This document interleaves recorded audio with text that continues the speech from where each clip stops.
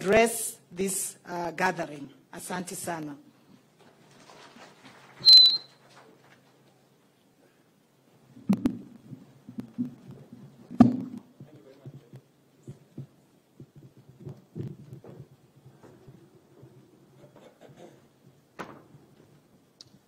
Thank you very much, Betty, and uh, distinguished ladies and gentlemen, let's take our seats. Asanteni sana.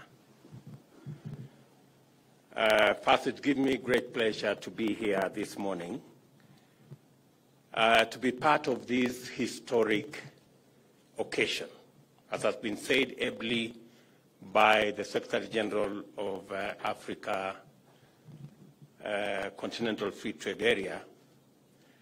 This event today marks the first step in a journey of our continent from export of raw material to the rest of the world to export of processed, manufactured products, not just to our continent, but to the rest of the world. This is a very significant step. And when we began the journey to consolidate the market in Africa and provide the infrastructure using the FTA statute, it looked like it was a dream. But today, we are living that dream as reality. This first step is historic in the sense that we now can harvest the returns of the huge market, the one billion uh, people market in our continent. The infrastructure provided by the Africa Continental Free Trade Area of making it easier for us to overcome all barriers to trade and all barriers to doing business with ourselves in this continent is a very significant uh, step in making Africa overcome its challenges of investment and its challenges of trade. I am very happy that it is the farmers who have made this first step a reality.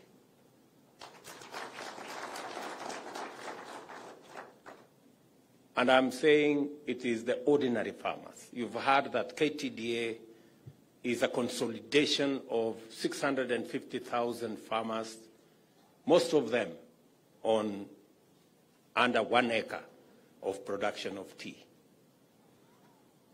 And it's amazing how ordinary people, a farmer on one acre, can make Africa Continental Free Trade Area a reality. That is the power of unity. That's the power of consolidation. That is the power of aggregation. And that's the power of working together. So I look forward to many, many more steps in our journey to ensuring that we grow the intra-trade in our continent from the current 15 to 18 percent to where other continents are, upwards of 50 percent. I know that it will require a lot of political goodwill, as has been said here. It will require a lot of uh, building of confidence between uh, our business people, our entrepreneurs, and our investors. But I stand here as one of the policymakers that we undertake that we will do our bit as policymakers to make this a reality. So, Mr. Secretary General, you have Kenya on board. Kenya believed in the Africa Continental Free Trade Area from the beginning. I think there is normally a debate as to which country signed and ratified the Africa Continental Free Trade Area. I think the action of today that Kenya has taken the first step confirms that Kenya indeed was the first country to ratify and deposit the instruments of ratification uh, because we believe from the beginning that this is the way to liberate our continent from underdevelopment. We will continue to work with all partners in our continent. I want to take this occasion, Mr. Secretary General, to ask our brothers and sisters in this continent that it is indeed in our interest that we actualize the benefits that come with the infrastructure that is being built by the Africa Continental Free Trade Area so that our continent can take its rightful place as a mover in the economy of the world. Africa today only contributes 3% of trade in the whole world. It is time that we occupy our rightful place. And I believe that Africa Continental Free Trade Area gives us the platform to be able to actualize our dream of taking Africa to this rightful place in matters trade, in matters investment, and in matters business. Um,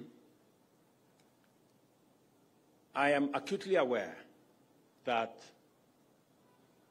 majority of the farmers, whether it's tea or coffee, many of them are small-scale farmers.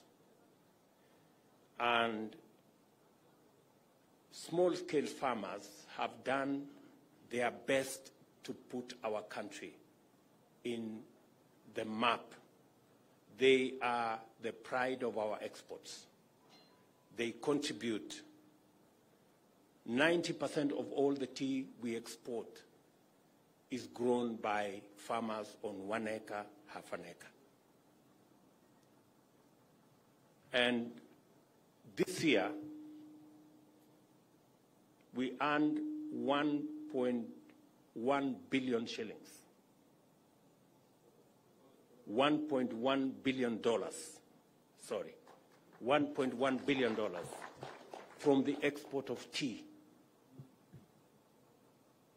That is significant. That is what consolidation does. That is what aggregation does.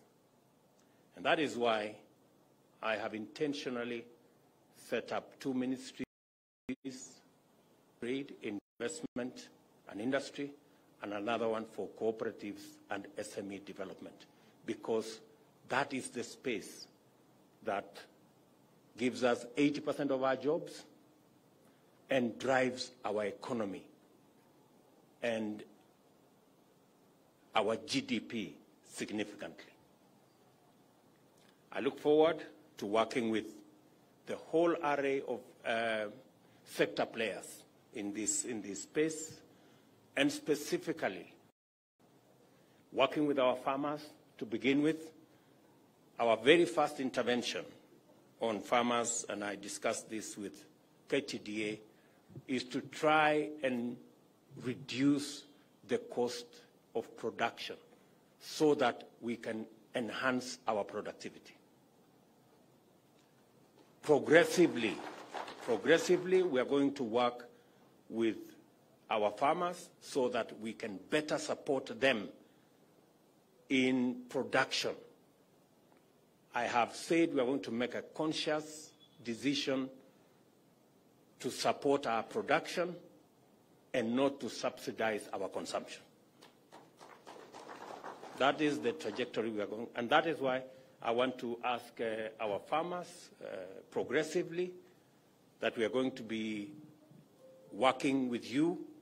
The government of Kenya will work with you towards enhancing our productivity and increasing our production of the cross-section of all the um, items that